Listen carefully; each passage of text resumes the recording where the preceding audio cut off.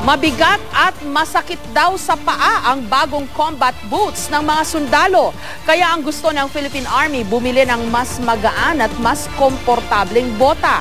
Yun nga lang doble ang presyo ng mga ito. May report si June Veneracion.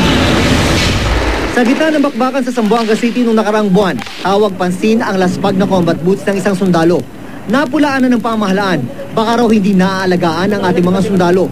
Pero sabi ng Army, mas gusto raw talaga ng mga sundalo na magsuot ng luma dahil ang reklamo sa mga bagong combat boots ay mabigat at masakit sa paa. Ah, yung tropa natin ay preferred yung mga luma dahil kumbaga na break in na po yun or fit na fit na po sa mga paa nila yon. Then at the same time, yung ah, siguro sa luma din is magaan na. Ang gusto ngayon ng Army, bumili ng mas magaan at mas komportableng bota. Lightweight combat boots ang tawag nila rito. Ang isang ordinaryong combat boots ng mga sundalo ito, size 9, ang uh, timbang nito mga 900 uh, grams o almost 1 kilo. Ang gusto ngayon ng Philippine Army, mapababa pa ito. Ang target nila na weight ay nasa 400 to 600 grams na lang ang ganitong klaseng size ng combat boots.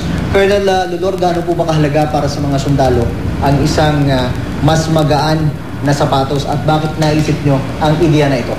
Uh, importante ito, John, kasi sa operasyon natin, para sa ating mga uh, tropa doon sa field, mm-hmm. kailangan ang magaan na kagamitan itong combat para mabilis yung reaksyon ng ating sundalo. Ang gusto ng Army, mas malambot na balat at swelas na may dalawang layer, yung may midsole na may polyurethane at rubber outer soles.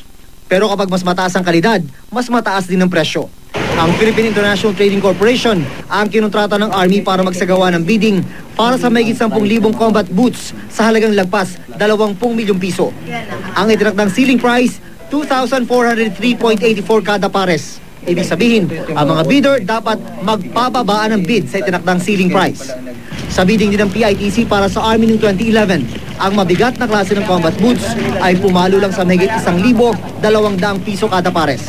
The heavy uh, combat boots are different from lightweight, no? Or ang analogy na ginagamit ngayon, ngayon yung mga running shoes, uh, lightweight ng ang ang ang material or seat material, the kind of rubber shoes, and uh, that's where the the price differential is, no? Uh, yung price naman usually connected dun sa specs ng isang product eh. Sa pag-ikot ng GMA News sa mga tindahan sa labas ng Camp Crame at sa Campaginaldo, may mga ordinaryong boots na ibinebenta din sa halagang 600 hanggang 1,500 pesos. Pero hindi ito ang hiling ng mga sundalo na lightweight at reinforced ng polyurethane, kaya hindi raw kasing gaan at kasing tibay. Kapag wala nag aberya sa bidding ayon sa PITC, baka magkaroon na ng delivery ng mga lightweight combat boots sa unang bahagi ng susunod na taon. Ito raw ang kauna-unahang pagkakataon na gagamit ng ganitong bota ang mga sundalo. Magaan, mas komportable at mas matibay daw. Naayon lamang bilang bahagi ng pangangalaga sa ating mga sundalo para armado maging ang kanilang mga paa sakaling mapasabak sa gera. June Veneracion, GMA News.